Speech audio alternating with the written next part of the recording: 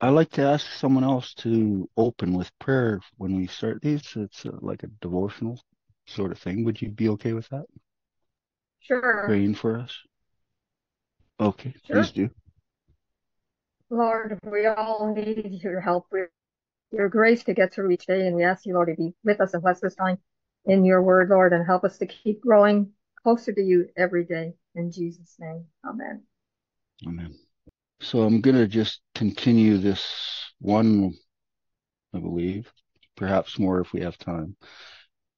1888 Sermons by Ellen White. Can, it's kind of uh, keeping with the theme of righteousness by faith.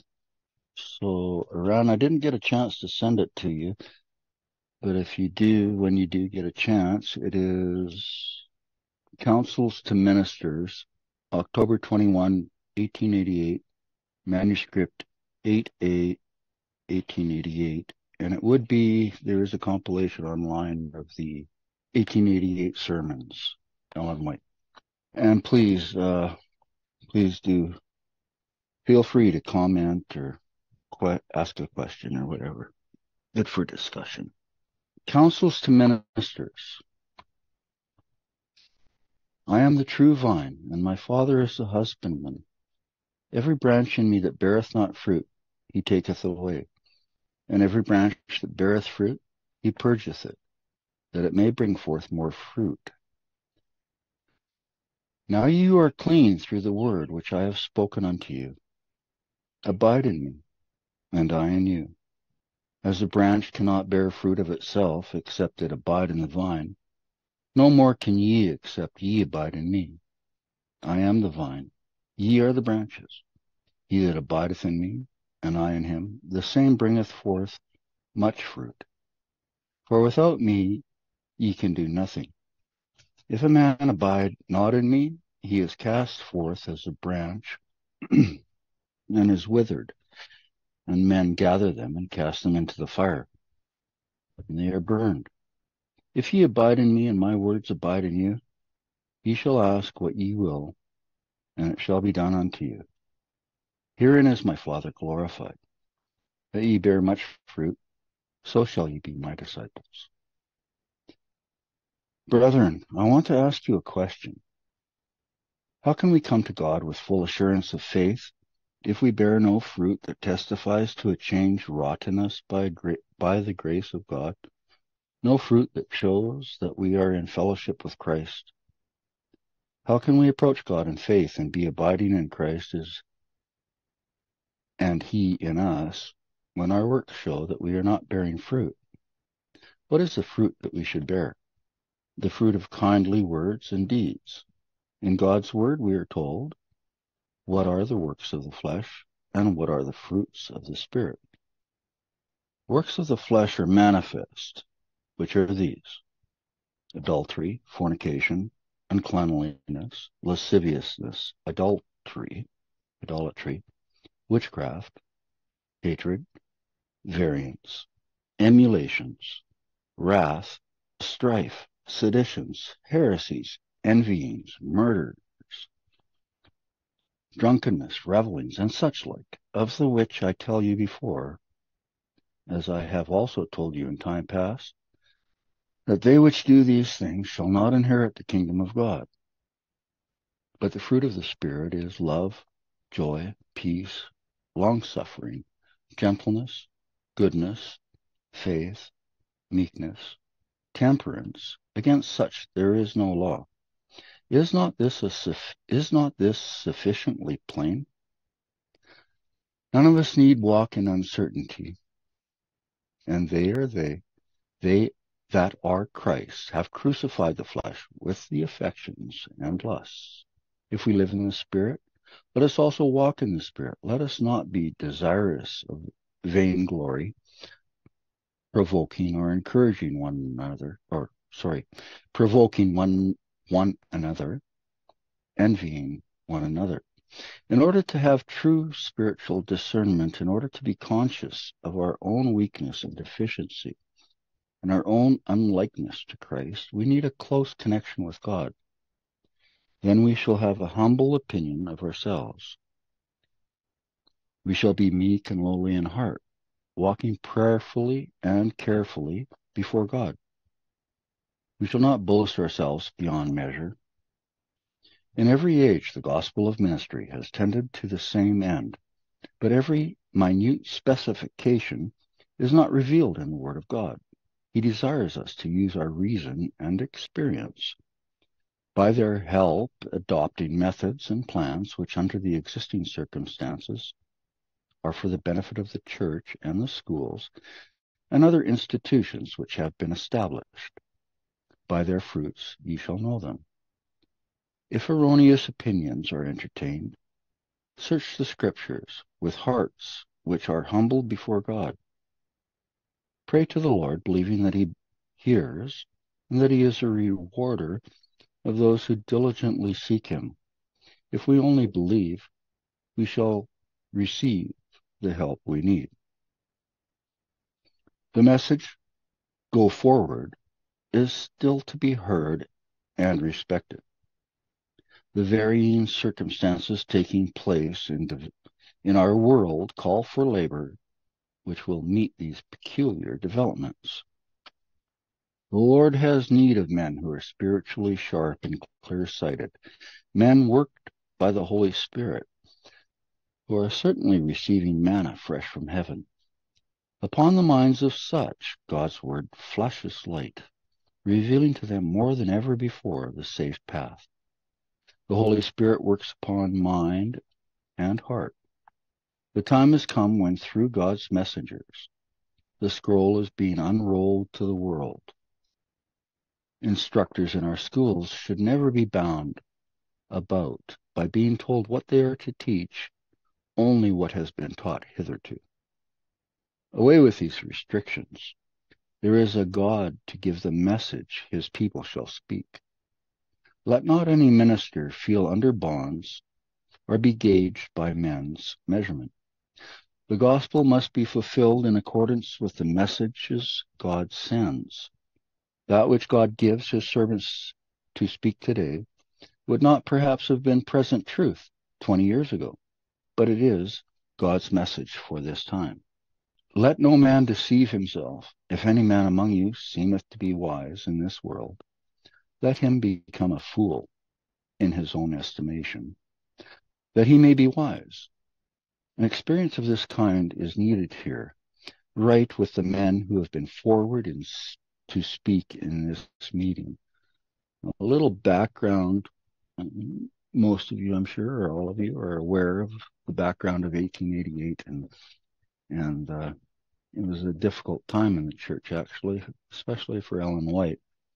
And the men here that she's addressing have been mocking the message, mocking the messengers and the message. That in she has a a vision of them being in their room and mocking and telling them that God sees this. And uh, that's a little bit of background. And there are personalities involved, which names you will recognize. I'm not sure if she brings them up later, but so that's a little background to that. These this sermon. An experience of this kind is needed here, right with the men who have been forward to speak in this meeting. For the wisdom of this world is foolishness with God. For it is written, He taketh the wise in their own craftiness. And again, the Lord knoweth the thoughts of the wise, that they are vain. Therefore let man, no man glory in men. Do consider this, I beseech you. Thus saith the Lord, Let not the wise man glory in his wisdom, neither let the mighty man glory in his might. Let not the rich man glory in his riches, but let him that glorieth glory in this, that he understandeth and knoweth me, that I am the Lord, which exercise loving kindness, judgment, and righteousness in the earth.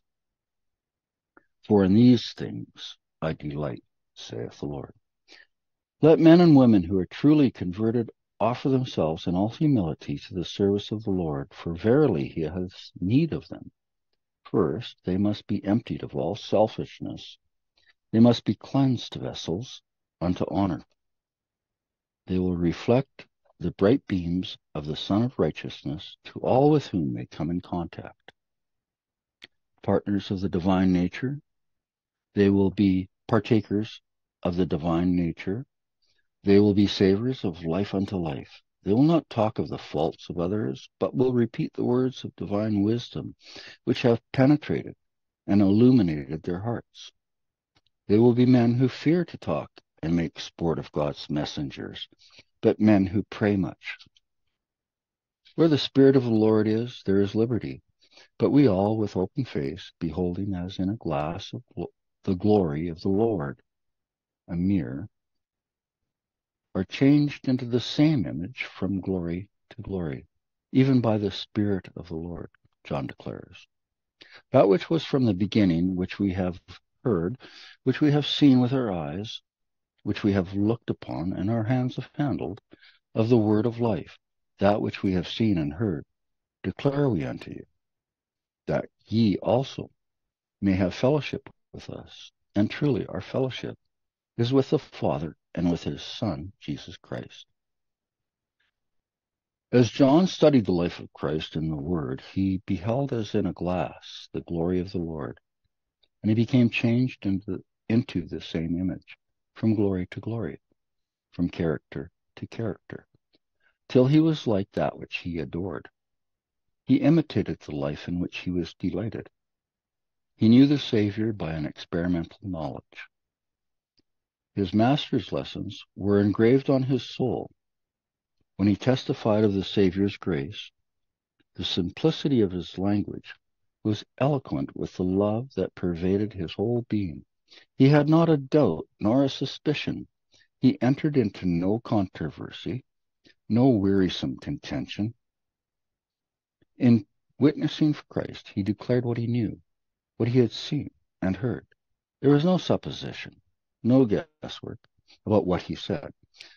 And when insult was put upon Christ, when he was slighted, John felt slight to the very depths of his being and broke forth into indignation, which was a manifestation of his love for Jesus.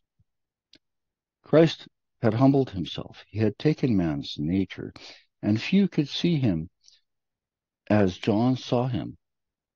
But John had it an advanced experience. The darkness had passed away. On him the true light was shining, and in his epistles he breaks forth against sin, presenting Christ as the one who could cleanse from all iniquity. It was John's deep love for Christ that led him to desire always to be close by his side, and this position was awarded him. Jesus loves those who represent the Father, and John could talk of this love as no other disciples could. He reveals to his fellow men that which he knows by living experience, it is his duty to reveal, representing in his character the character of Christ. The glory of the Lord was expressed in his face.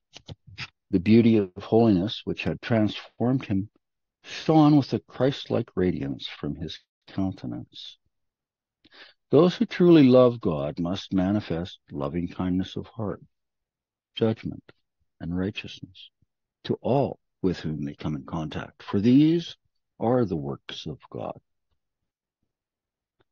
There is nothing Christ needs so much as agents who feel the necessity of rep- representing him. Evil speaking and evil thinking are ruinous to the soul. This has been the current in this conference. There is nothing the church lacks so much as the manifestation of Christ-like love. As the members of the church unite together in sanctified association, cooperating with Christ, he lives and works in them. Our eyes need the anointing with the heavenly eyesalve, that we may see what we are and what we ought to be, and that power is provided in Christ, sufficient to enable us to reach the high standard of Christian perfection. We must keep Jesus, our pattern, ever before us. This is and ever will be present truth. It is by beholding Jesus and appreciating the virtues of his character that John became one with his master in spirit. With the spiritual vision, he saw Christ's glory, the glory as of the only begotten of the Father, full of grace and truth. And he was changed from glory to glory into his likeness, from character to character, into his likeness. And to him was committed the work of telling of the Savior's love, and the love of his children should manifest for one another. This is the message that we heard from the beginning, he writes, that we should love one another. We know that we have passed from death unto life, because we love the brethren. He that loveth not his brother abideth in death. Whosoever hateth his brother is a murderer. And ye know that no murderer hath eternal life abiding in him. Hereby we hereby perceive we the love of God, because he laid down his life for us, and we ought to lay down our lives for the brethren. But whoso hath this world's good, and seeth his brother have need, and shutteth up his bowels of compassion from him, how dwelleth the love of God in him? My little children, let us not love in word, neither in tongue, but in deed and in truth. Beloved, let us love one another. For love is of God, and every one that loveth is born of God, and knoweth God. He that loveth not knoweth not God, for God is love. In this was manifested the love of God toward us, because that God sent his only begotten Son into the world that we might live through him. Beloved, if God so loved us, we ought also to love one another. God is love, and he that dwelleth in love dwelleth in God, and God in him. But although John dwells so particularly on love, he does not clasp hands with sin. Hear his words regarding the apostate from the faith he who has had a knowledge of the truth, but has departed from the faith, giving heed to seducing spirits. Whosoever transgress, transgresseth and abideth not in the doctrine of Christ hath not God. He that abideth in the doctrine of Christ, he hath both the Father and the Son. If there come any unto you, and bring not this doctrine, Receive him not into your house, neither bid him Godspeed, for he that biddeth him Godspeed is partaker of his evil deeds. Let us all consider this. The doctrine of Christ seems pretty significant. He dwells so particularly on love, the Apostle John, but he does not clasp hands with sin. So he doesn't excuse sin. Love does not excuse sin. And there's a something in the great controversy. It's a quote on love and how talking about love, love, love, but there's no obedience. She, I can't remember the quote and I wish I had it, but John doesn't excuse sin because of love. The Lord has plain words for those who like the Pharisees, make great boast of their piety, but whose hearts are destitute of the love of God. The Pharisees refused to know God and Jesus Christ, whom he had sent. Are we in danger of doing the same thing as did the Pharisees and the scribes? Remember that she's addressing these men that are rejecting the message that could have brought about the coming of Christ. But while reproof is given, it must be given in accordance with Christ's direction. The Apostle Paul writes, Brethren, if a man be overtaken in a fault, ye which are spiritual, restore such a one in the spirit of meekness, considering thyself, lest thou also be tempted. what does that mean to restore someone that's uh, fallen, but to do it in a spirit of meekness, considering ourselves. Any thoughts on that? Because it's kind of important, I think. Speaks for itself, really, doesn't it? It's hard to add to the spirit of prophecy or the word of God. But if we can relate it to our own experience as well, and feel free to share something when it strikes you. We see individuals committing errors and we are pained because their lives are not in accordance with the Bible standard of righteousness. But we are not to become impatient. If we have the mind of Christ, we shall feel a burden for the welfare of him who has forgotten to be a doer of the word. Do not speak of his errors to others. Follow the rule Jesus has given. Go to the wrongdoer alone and see if by words of wisdom you cannot save him. The apostle James, inspired by Jesus Christ, lays down our duty in clear lines. Brethren, if any of you do err from the truth, and one convert him, let him know that he which converteth a sinner from the error of his way shall save a soul from death, and shall hide a multitude of sins. We are Christ's witnesses, Christ's representatives.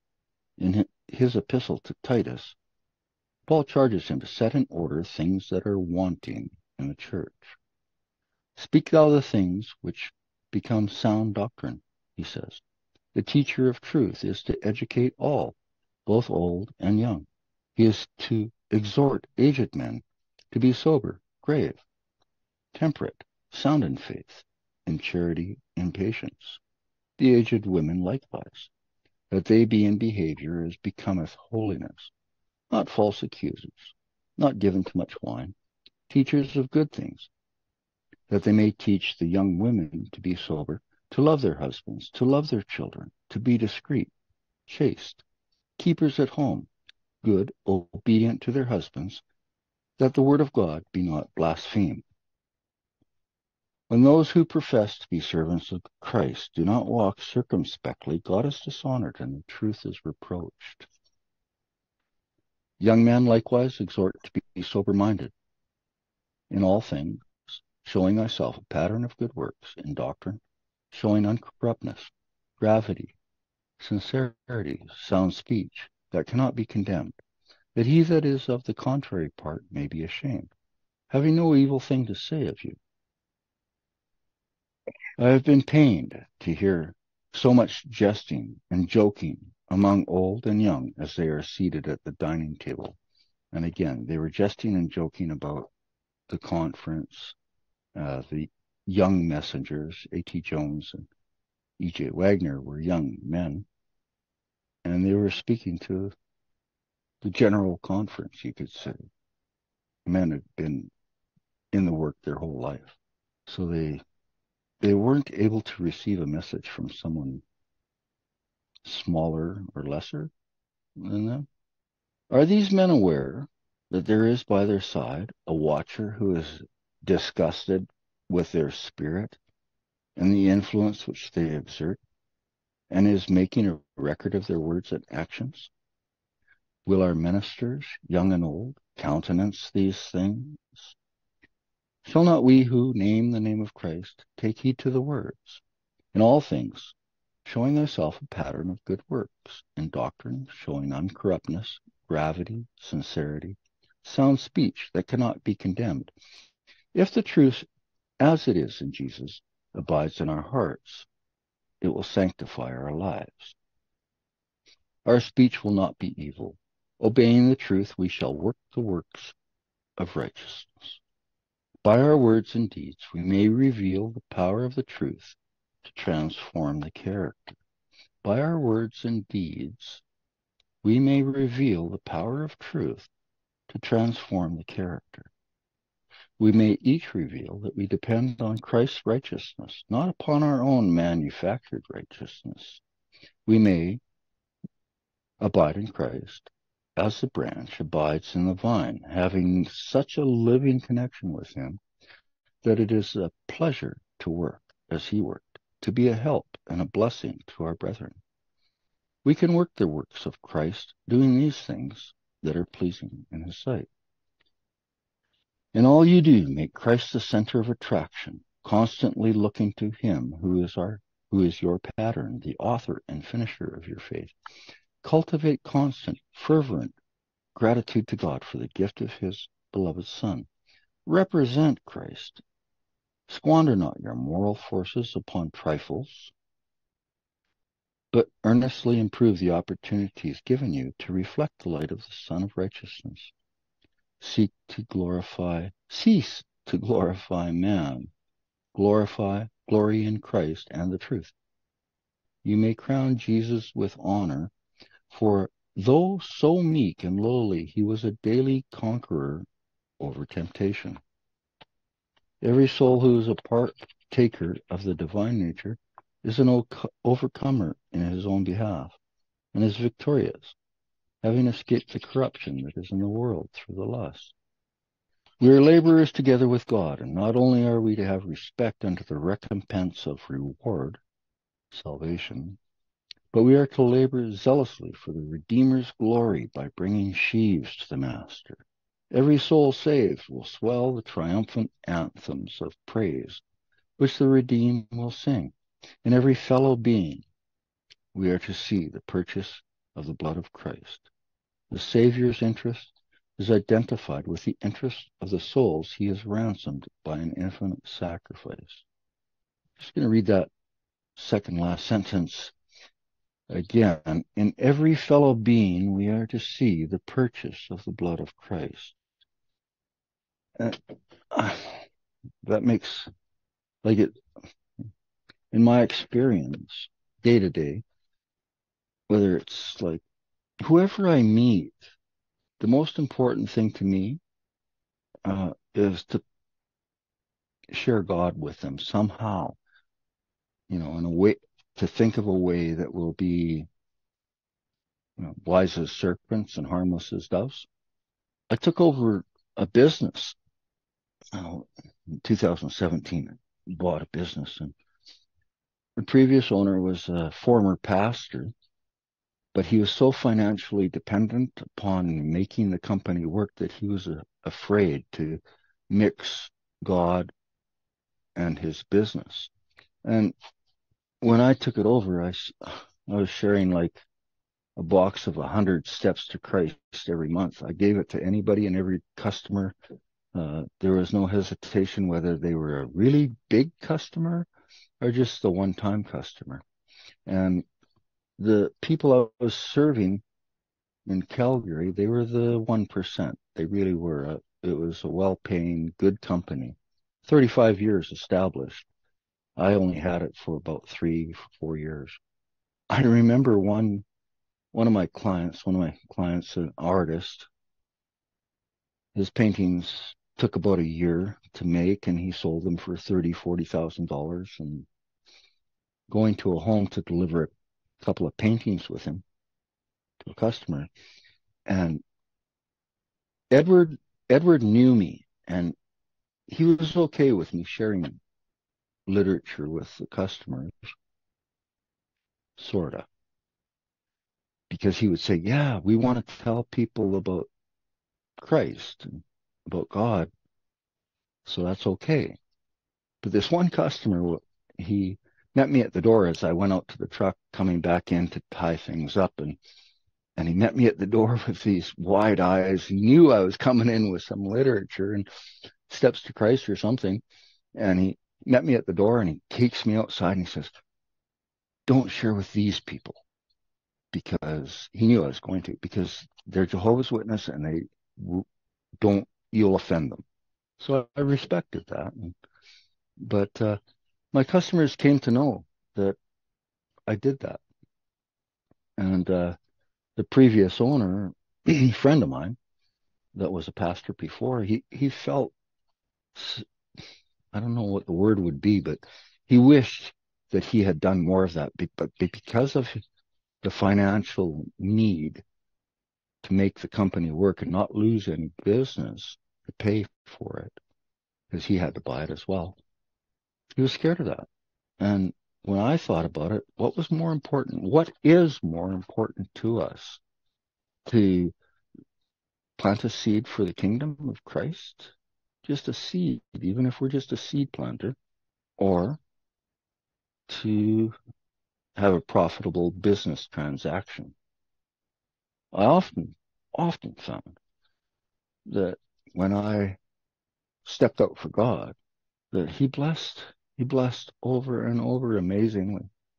And also got the customers that were offended to kind of be forgotten for a while. You know, it just went on for quite a few, quite a few years. Case of Steps to Christ, that's about a hundred steps to Christ a, a month that I was able to just give. Some of the wealthiest people in Calgary got great controversies. And if they expressed an interest at all, I bought them a special edition, you know, the hardcover and embossed and so on, so that it would look good on their library shelf. So it would at least stay there on their shelf. And one day, someone will pull that off the shelf. I believe that. Spirit of prophecy tells us that. I, I fully believe that. In every fellow being, we are to see the purchase of the blood of Christ. The Savior's interest is identified with the interest of the interests of the souls he has ransomed by an infinite sacrifice. My brethren and sisters, do we realize the importance of this subject? Why are we so listless? Why are we so satisfied to remain so poorly fitted to work for the uplifting of humanity? Why is not every entrusted capability used for the Master? Why are so many contented with the feeble, lifeless condition of our churches? The heavenly universe is looking with amazement upon our Christless work. Neglect is seen in all our borders. Slipshod work is tolerated and passed by. How long shall this continue? Shall we not arise and with determined, harmonious effort take up our responsibilities, laboring in Christ's lines with sanctified capabilities? Put away the controversial spirit which you have been educating yourselves in for years. Educate yourselves to pray to God in sincerity and truth. Sing with the spirit and understanding also. Much is expected of us. What are our young men doing? Jesus is waiting to bind their hearts up with his great heart of love, to bind their interests with his own. He says to them, Young men, flee youthful lusts. Will you obey his voice? You are surely not doing this now. The truth is an inherent power, and if brought into the sanctuary of the soul, will draw men and women to Christ. It will win its way to human hearts. To those who look to him, Christ, by his Holy Spirit, re- reveals the beauty of truth. He shows himself to be the sin pardoning Savior. Young men, you may have the truth on your side. When your heart and all your faculties are brought under the influence of truth, when you bring the truth with all its living, sanctifying principles into your heart, you will have confidence to present it to others. Christ has then made unto you wisdom and righteousness and sanctification and redemption. We are laborers together with God, and Christ is by your side. Ye are yoked up with him. He is leading and guiding. Such a worker is as a sharp sickle in the harvest field. He does not use his God-given powers in debating. That is Satan's line. Pointing to the cross of Calvary, he cries, Behold the Lamb of God, which taketh away the sin of the world. He urges sinners to behold eternal realities. He holds this telescope before his eyes, that by faith he may discern these realities. Eternal realities, you know, these are things to to to really think about. Like, I don't know, for me, eternal realities are so real. Like really real. You know, when you see one or two people sort of die and come back to life, things like this, and you see a soul and then feel the power of the enemy become really angry because you just helped rescue a soul from his clutches, from the very death.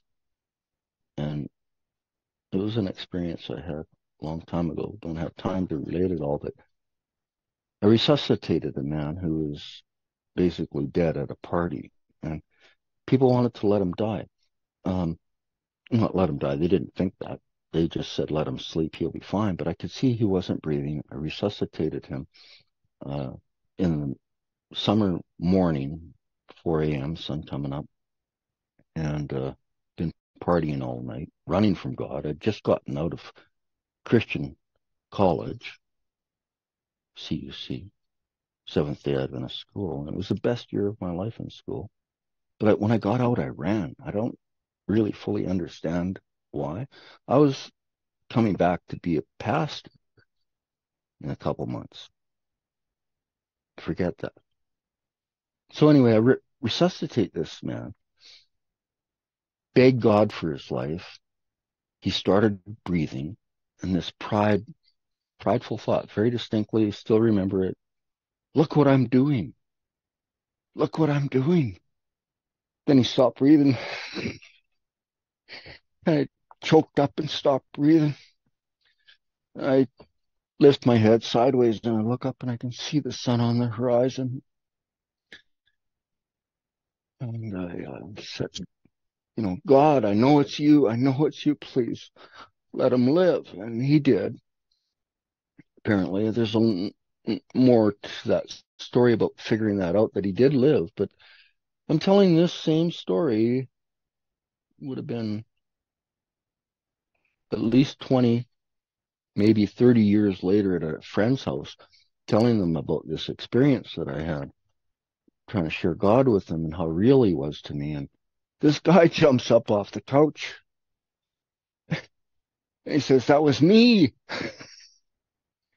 you don't remember? That was me. And it was a friend of a friend. So I, I didn't spend a lot of time with him, but I knew who he was and I knew his name. And I, completely did not re- remember his him being there. But once he said that, of course, it came back to me. But all those years, I wasn't sure if he lived or died after leaving there because I had to leave. I was exhausted. The enemy, like I convinced them to carry him into the house. And when they did, they, they wouldn't call an ambulance. They didn't want to break up the party. And, uh, they helped me get him into the house finally, and everyone's in the house and doing their thing, and and I'm with him on the couch, and I the, it was like a could definitely feel it, and it was like I could see it, the darkness in the room with these people just having no care in the world for what was happening, totally unaware and not caring either. And uh, me with him on the couch, and he's having a hard time. You know, I really wanted to call an ambulance. But I was so exhausted, I had to leave. I just had to get out of there. And so I told him I have to leave, told him about God.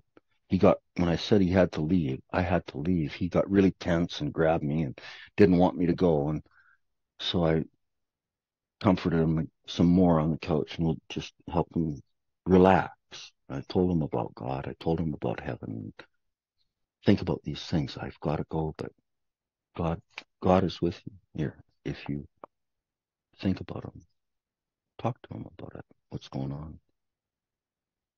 I left him and when I told him that, he, he, he got this calm, like a peace, and he just totally relaxed and I knew he was going to be okay. And he thought he was and went back the next day. He wasn't there. No way could he have walked. And I thought, went check where he lived, found out where he lived, landlord said he moved out the day before, and I thought everybody's in on this thing. They're covering up.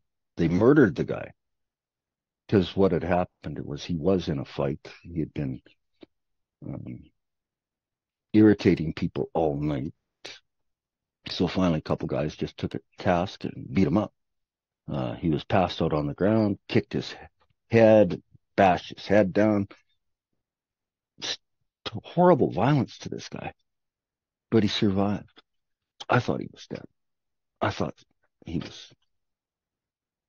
I wasn't sure. I, I continued to pray th- for him through the years, interestingly enough, off and on.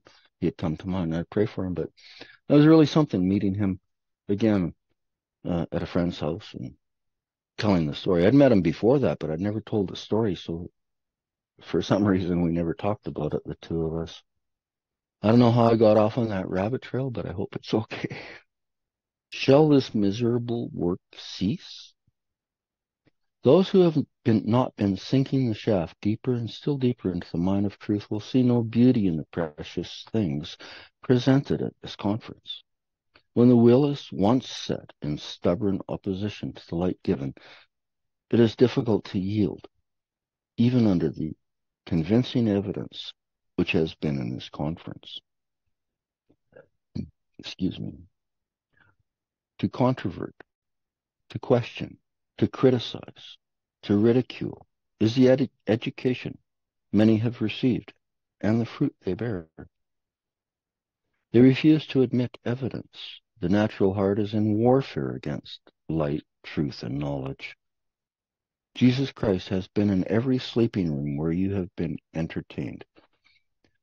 How many prayers went up and up to heaven in these rooms? And here she's speaking of seeing while they're visiting in each other's hotel room sort of thing.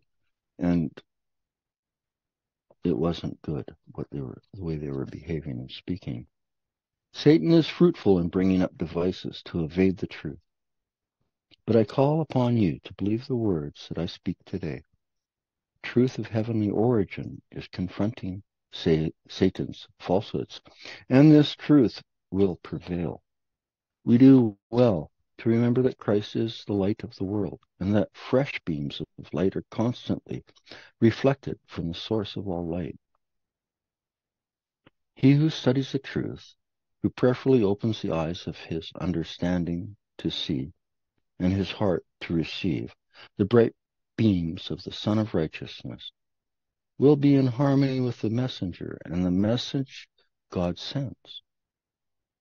All the opposition, all the prejudice, all the suggestions of the enemy will never make the truth less precious or less true. Only when men yield to the subtlety of the enemy does the truth become darkness to them. But even though the truth is opposed and spoken against by those who should be blessed, strengthened, and made joyful by it, its value and brightness is not lessened, for the Lord's messengers will hold up the telescope to the spiritual eye, that the truth may be seen from all points and its value appreciated. I like this uh, uh, word she uses, telescope, held up to the spiritual eye. Just previously, a page ago or so, she mentions about this telescope and discerning eternal realities. And that's kind of what this telescope helps the spiritual eye to see, so that we can know its value and appreciate it. A fair investigation will not fail to reveal wonderful things in God's Word. Every jot of resistance places the opposer in a darker shade. He does not want to see. He will not search God's Word. But opposition and resistance only serve to bring out truth in new, distinct lines. The more truth is spoken against, the brighter it will shine. Thus the precious ore is polished. Every word of slander spoken against it, every misrepresentation of its value, awakens attention and is the means of leading to closer investigation as to what is saving truth. The truth becomes more highly estimated. New beauty and greater value are revealed from every point of view. Every word of slander spoken of against it, every misrepresentation of its value awakens attention and is the means of leading to closer investigation as to what is saving truth. Saving truth is an interesting phrase. There's a, everyone seems to have their their own idea. Well, not everyone, but there seems to be camps of what is saving truth. I had a conversation recently with someone about Desmond Ford, and I, I commented, nice guy, but unfortunately very wrong. And and his, his comment back was, a lot of people who think they were right will not be in heaven, and that being right doesn't save us. I kind of understand where he was going with that, is that you know, the thief didn't have time to do everything right, but someone who's lived 40 years does. And that truth does matter. I said, truth matters. But he was kind of more along the lines of thinking that as long as a guy thinks right with God, he's sincere and honest in his heart. And I agree with that. But there's a time coming where truth will be truth and error will be error. And if we believe error, we'll go into darkness. I, I just know that truth is sanctifying and has that sanctifying influence within the message itself of sharing it. Now, when I say message, remember the cashier at Walmart having a bad day. So I interact, try to be patient and gracious and, and kind in that interaction. It turns the whole thing around. Thinking of their soul, thinking of the next time I see them, maybe I'll be able to share a tract or something. So I do that. I like to do that. And people like it mostly. But, uh, yeah, to look at each person as, as a soul for the kingdom, every one of them, no matter how bad they are or how good they are. The 1% in Calgary, they needed it. I like the chapter in Ministry of Healing, Ministry to the Rich, I think it's called. And she says how that this class of people also need people to minister to them because people don't, they don't go to church. Typically, they won't darken the church's door, but if we can go to their home, and I had access like that. One guy, he made his money on a an improved drill bit for the North Sea. He was a driller in the North Sea. He was Scottish, I think, and uh, he made made a lot of money. And now he's living in a big house, mansion, Olympic sized pool room. The pool house itself was the size of my house. And uh, he had everything, you know, that, that he could want financially, but not but. But, well, I was able to converse with his son, who was a teenager, and I told him about this book, The Great Controversy, and that uh, told him about it. He says, Yeah, I'd read that. Well, here you go. And I gave him the embossed copy that I thought of. I don't know if he ever read it, but I'm sure that it's on their bookshelf still because it's a nice looking book. And, uh, you know, God will use that book somehow. I believe it. We need to be able to minister somehow to, to everyone. I kind of lost my place here.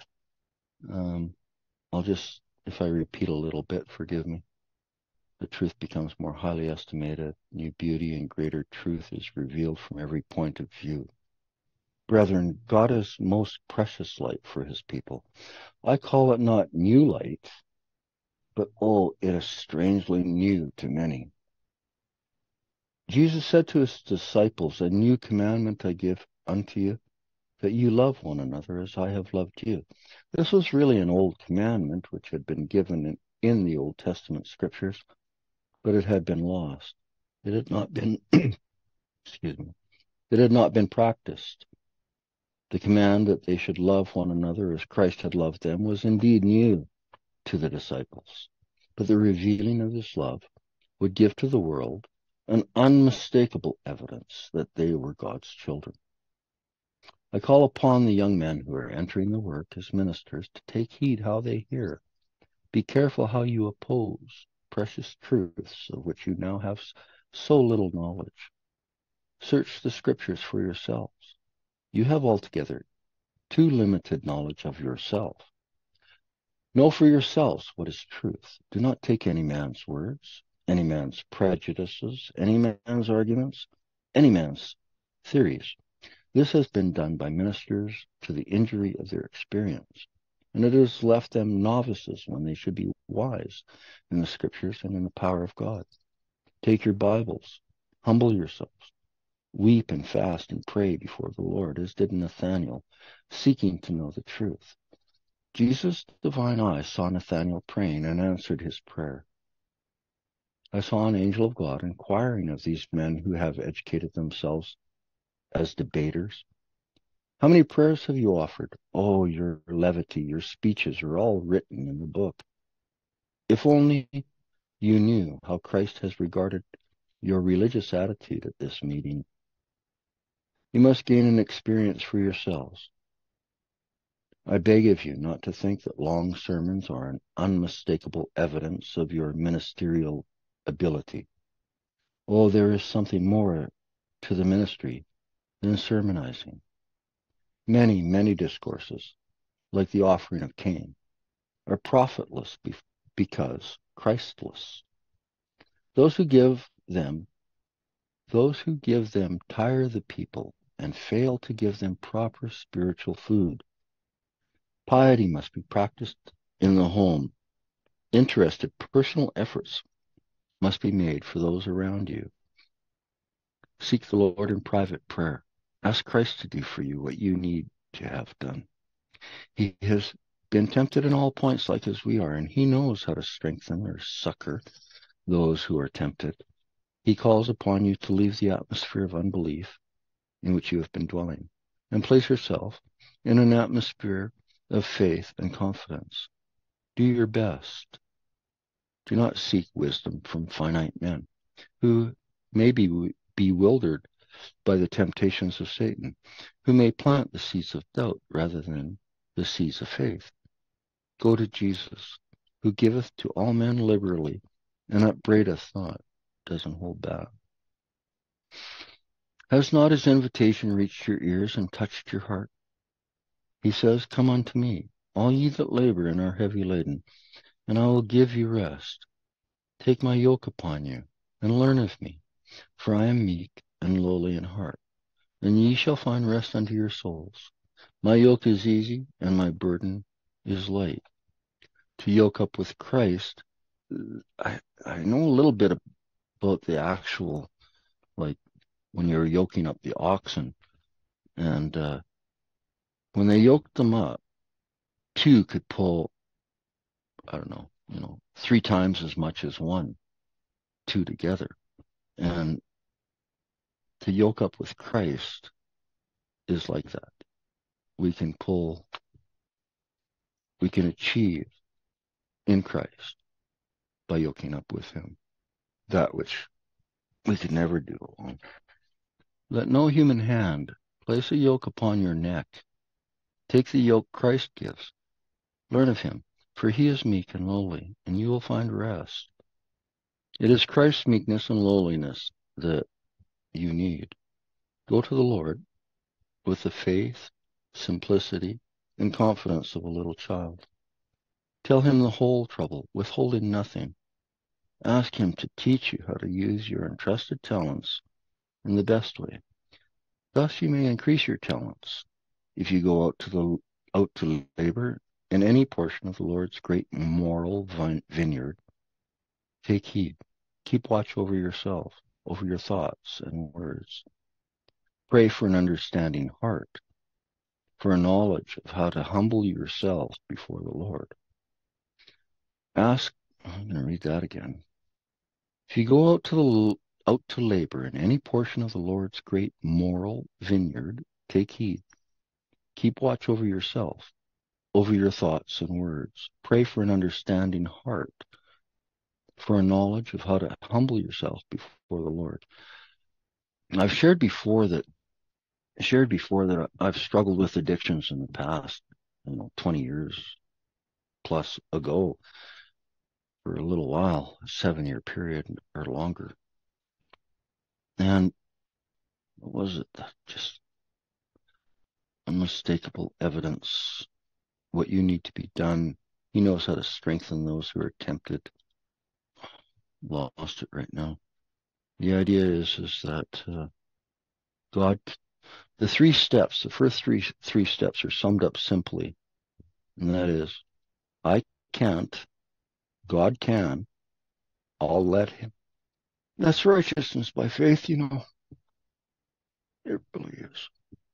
I can't. God can. I'll let him to cooperate with God. Those who would be laborers together with God must receive wisdom from the great teacher who is our example in all things in order to present the truth in its simplicity. Learn of Christ. All pride, all selfishness, all self-importance must be cut away from all teachers. All the, and this word I don't know, all the sang froid, S-A-N-G dash Freud, F-R-O-I-D, sang froid. All the sang froid, which is so common. Would would someone look that up for for us and share that? Sang froid, S-A-N-G dash. Sang froid means uh, cold blood in French. I presume it just means people having a coldness toward toward others instead of having compassion. What does it mean again? It's a, it's uh, French. It means uh, cold blood. Yeah, cold blood in French. Cold. Okay, sang froid. Cold. All the sang froid. All the cold bloodedness. Mm. Is that how it would go? Sort of. Okay, they don't care. Cold blooded about. They don't. They're not caring. All the sang froid, which is so common. The theatrical gestures all lightness and trifling, all jesting and joking, must be seen by the one who wears Christ's yoke to be not convenient, an offense to God, and a denial of Christ. It unfits the mind for solid thought and solid labor. It makes men inefficient, superficial, and spiritually diseased. You know, I we I'm sure all of us have seen in the church this uh, thing that's happening happening culturally in a lot of the Seventh Day Adventist churches is a theatrical bent, uh, another program to a human man-made program to reach or copy other programs from other churches. A lot of uh, one pastor, he never started a sermon without a joke, and I, and it was an innocent enough chuckle for the congregation, kind of to warm them up, I suppose was his thinking. You know, I shared with him uh, ministry. Well, he well knew them, the quotes, but it was uh, in speech and song, ministry and voice, speech and song, something like that. It's a small pamphlet. But I shared with him, and another friend of mine also shared with him, both of us, these quotes about joking in the pulpit and how it wasn't a good thing, and he just did not accept it at all, not at all. But it was I I at times if I knew if I knew he was giving the sermon that Sabbath, I went elsewhere, or when I didn't know and it happened to be him, I just could not endure it. I and it wasn't a sense of me being better than or anything. I was I just couldn't I couldn't sit there and listen to it. In another church, perhaps, but I expect more from the Seventh day Adventist message. He who believes the truth for this time will practice personal piety. The language of his heart will be, Who is sufficient for these things? Let every minister be sedate. Not sure what she means by that. Let every minister be sedate. As he studies the life of Christ, he will see the necessity of walking circumspectly. Yet he may be, and will be, if connected with the Sun of Righteousness, cheerful and happy, showing forth the praises of him who has called him out of darkness into his marvelous light. This conversation life will be pure, entirely free of all, oh, sorry. The conversation will be pure, entirely free of all slang phrases. If Christ is abiding in your heart, you will show meekness and gentleness and purity of thought. You will follow elevated, noble principles because you have learned the lessons taught in the school of Christ. If you have not felt the need of learning every day in this school, it is time you did feel this need. Learn of Christ, and then go to the strength of Him who has said, Lo, I am with you always, even unto the end of the world. A divided heart God will not accept. Put your whole soul into your work, and never leave your work half done. because you wish to go to another place. Here she's addressing the idea of mission work and each, there was this thing going on where young ministers would come up with a bright idea of going to this mission field or that, but without consulting with the brethren of experience. And this is where that quote really it comes down to the meaning of that quote, submitting to the brethren of experience. She wasn't talking about submitting in matters of doctrine and belief, because Ellen White encouraged individual thought and individual study, personal study. But she was speaking about the missionary work that was going on, and it was a growing church, and everybody wanted to go this way and that. But she was saying, we have elder brethren of experience who have done this mission work before, and submit your idea of going off to this mission field to the brethren of experience. And if they see no light in it, leave it alone. That was what she meant. Light in the mission field. It wasn't about doctrine. If they see no light in this teaching, that's not, that's the way it has been applied, and wrongfully so. I wish I would have known that a lot sooner because it was one of the quotes that was was really pressed upon me to uh, to submit my thoughts on the 2520 and associated ideas, but I just couldn't. And I didn't see the sense in it. So it didn't make sense. And the reason is because it doesn't make sense. And to understand what it actually meant was, it was specifically about mission work, not about doctrine and belief. To submit to another man, our conscience between us and God mm, that's not right. Don't do it. A minister is one who ministers. If you confine your work to sermonizing, the flock of God will suffer, for they need personal effort. Let your discourses be short. Long sermons wear out both you and the people. If ministers would make their sermons only half as long, they would do more good and would have strength left for personal work. Visit families, pray with them, converse with them, search the scriptures with them, and you will do them good. Give them evidence that you seek their prosperity and want them to be healthy Christians. If you're staying in a family, do not allow yourself to be waited on. Show that you wish to be helpful. If possible, use the axe or the hoe. Bring in water and wood. Show that you regard work as a blessing. Physical exercise will be a blessing to you and will increase your influence for good. Remember that to minister means far more than merely preaching. Nothing is so discouraging to the advancement of present truth as the haphazard work done by some of the ministers for the churches. Faithful laborers are needed. The church churches are ready to die because they are not strengthened in Christ's likeness. The Lord is not pleased with the loose way in which the churches are left because men are not faithful stewards of God's grace. They do not receive his grace and therefore cannot impart it. The churches are weak and sickly because of the unfaithfulness of those who are supposed to labor among them, whose duty it is to have an oversight over them, watching for souls as they must give an account. Be thorough and determined in your efforts to serve God. Keep the eye fixed on Christ do not fix your attention on some favorite minister, copy, copying his example and imitating his gestures.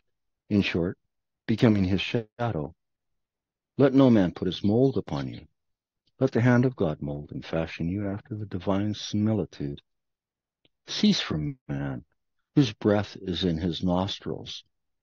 Hang your helpless soul on Jesus Christ. He is unchangeable, the same yesterday, today, and forever. My heart was made glad as I heard the testimonies borne after the discourse on Sabbath. These testimonies made no reference to the speaker, but to the light and truth. And this is the way it should ever be. Praise no man, flatter no man, and permit no man to praise or flatter you. Satan will do enough of this work. Lose sight of the instrument and think of Jesus. Praise the Lord. Give glory to God. Make melody to God in your hearts. Talk of the truth. Talk of the Christian's hope, the Christian's heaven.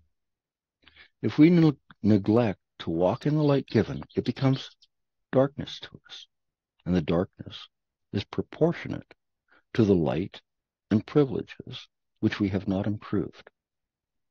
Christ says, If therefore the light that is in thee be darkness, how great is that darkness? If we walk in the knowledge of the truth, our light will shine to those around us in spirit, in words, and actions. We will be fruitful branches of the living vine. If we know God's requirements and claim to love Him, yet cherish sin, God will not hear us when we ask for His blessing, for He does not minister to sin. There are those who whose conscience is hardened by habitual sin. They bear no rich clusters of precious fruit because they are not branches of the true vine. Their prayers rise no higher than their heads because they are in their prayer. Their prayers rise no higher than their heads because they are in their prayers presenting only a form of words, whether offered in the church, in the family, or in secret. They receive no strength because they ask amiss. But when those who are striving with all their power to overcome confess their sins, God is faithful and just to forgive their sins and to cleanse them from all unrighteousness for Christ's sake. When brought into the sanctuary of the soul, the truth of God works by faith and purifies the soul, elevating, refining, ennobling it. There was a time when Israel could not prevail against their enemies. This was because of Achan's sin, God declared. Neither will I be with you any more, except ye destroy the accursed thing from among you. God is the same today. If defiling sins are cherished by those who claim to believe the truth, the, the displeasure of God rests upon the church, and he will not remove it until the members do all in their power to show their hatred for sin and their determination to cast it out of the church. God is displeased with those who call evil good and good evil. If jealousy, evil surmising, and evil speaking are allowed to have a place in the church, that, that church is under the frown of God. It will be spiritually unhealthy until it is cleansed from these sins. For till then, God cannot reveal his power to strengthen and elevate his people and give them glory. That's a tricky one for me. I'll share later why, but the tricky part is, see here, um, not basically not living up to the truth that we know and and uh, God God can't bless us really, but He can. It's a funny thing that I've seen in my life because I've walked apart from God, thinking I was, but somehow He's always there in the shadows. As long as there is breath, there is hope. As long as we haven't rejected light, but we're just struggling with our fallen human natures, I think God understands that and bears with it a bit, a bit more than a bit. Let none shut, shut themselves away from God by their perversity of spirit, and then keep complaining that they have no light. Arise, dear souls, arise by faith, and do what you ought to do. Christ says, Follow me, and you will not walk in darkness. Let your human wisdom and ask God, let go your human wisdom and ask God for that wisdom which is pure, elevating, and ennobling, and it shall be given you. Come out up out of the cellar of doubt, of unbelief, of jealousy, and evil surmising, into the upper chamber of faith, hope, courage, and thankfulness. Make melody to God in the heart. The garden of the Lord is strewn with precious flowers. Gather the roses and the lilies and the pinks from God's spiritual garden. Rejoice in the Lord always. And again I say, rejoice. Let not the world receive the impression that there is no peace, nor joy, nor happiness in serving the Lord. It is Satan's work to misrepresent the Father and his Son, to misrepresent truth and gloss over error, making it appear as truth. But connected with God, we may distinguish between the genuine and the spurious. Light will dispel darkness. Why should we not avail ourselves of God's gracious promises, returning the glory to Him in heartfelt thanksgiving? Christ died for us that we might enter into possession of eternal riches. With hearts filled with gratitude to God, let us use the opportunities He has placed within our reach that we may be fitted and prepared for the mansions Jesus has gone to prepare for those who love Him. If we fail through indolence, unbelief, worldliness, or covetousness, we shall suffer irreparable loss for we shall lose an eternity of bliss. I tell you in the fear of God that day by day we are forming characters that will decide our destiny for weal or for woe. Heaven is a holy place, and there entereth into it nothing that defileth. We cannot be truly happy here in heaven unless God's will is our will, unless we are sanctified to God, body, soul, and spirit. The more we think of heaven, the more happiness we shall have. We cannot be happy here in this world, I guess is what she's saying. Unless God's will is our will, sanctified to God, body, soul, and spirit. Something pretty neat happened today. Really interesting, actually. It's a little bit of a long story, so I'll save it for tomorrow. But I'd like, what I would like to encourage is for tomorrow, I, I have another sermon that I'd like to share, but for for tomorrow, think of I would like each person to think of their life with God and how God has worked in your life. It's a big it's a big question. But it doesn't have to be all of it, just something particularly particular that you undoubtedly knew it was God doing, directing, providing, taking away, directing our lives. I got something that's just blows me away. So I hope I hope you guys can think of something like that to share with all of us tomorrow a little bit sermon and then our experience with God. Okay, yeah, we'll close.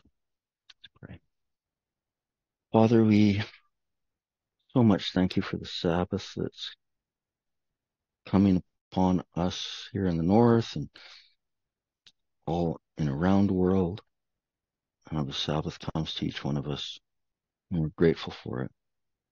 Help us to see the depth of blessings, deeper and deeper blessings that are in the Sabbath, and for the things that I read this evening. If we could remember one thing from it that you can use to help us have that experience that each one of us need. To trust you in the times when we are crushed or elevated, to keep our eye on you so that when lifted up, we do not fall from it because of our human hearts are so prone to pride, or when debased, abused, or losses in life, that we do not become despondent and discouraged, that you perhaps have left us or that we have done things that have made us so vile that you forsake us. So grateful, Lord, for the experience and knowledge, the truth that I have learned personally that as long as there is breath, don't give up hope on anyone and especially on ourselves, Lord. We see the high standard of Christian perfection that you want to see, need to see in your people in order to bring about the final message of mercy, which has to go out to this world through sanctified vessels. Lord, we look at ourselves, and when we do, it's easy to see how it's impossible for me for each one of us when we look at our lives, really, honestly. in comparison to the high standard of Jesus, the perfect example of Jesus. But he got that just as we can. He had to connect with divinity. And we need to connect with divinity. And the only way that's going to happen is to have the experience of Isaiah for our pride to be laid in the dust. As painful as that can be, we know it's necessary. We trust our lives in your hand, that process in your providence. And we look forward to tomorrow in your promises. Thank you, Father. In Jesus' name, we, we thank you and close this looking to you still. Amen.